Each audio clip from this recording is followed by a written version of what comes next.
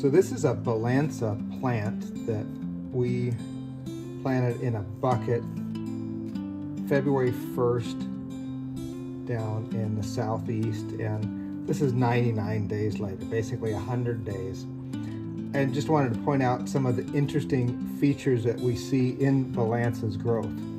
If you look at it down from the taproot, looks kind of like just a carrot down there, and then this just tremendous uh, branching of these fibrous roots, and then they all end up with these super fine hairs.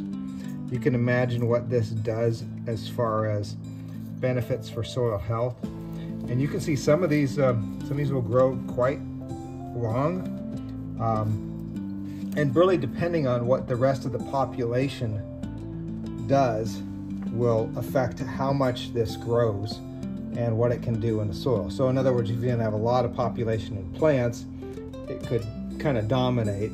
If you had a lot of population of plants, it may not be as uh, as aggressive. I want to tilt the plant up because I think this is just these things are just fascinating from uh, from looking down from the top. There is just an abundance. It's almost like just as many roots out there. Just dozens, literally, of um, of growing points right from the root. And as you look at all those, they're all growing out, and they all essentially kind of have the same job. They're coming out, and they're growing, and they're putting out leaves. And then this one has actually gotten to the point where it's starting to uh, to flower. And so they're just they're just all doing that. It's it's not like other plants where you see a single or a, few different um, uh, growing points that come off of the off of the crown and then they then they branch out.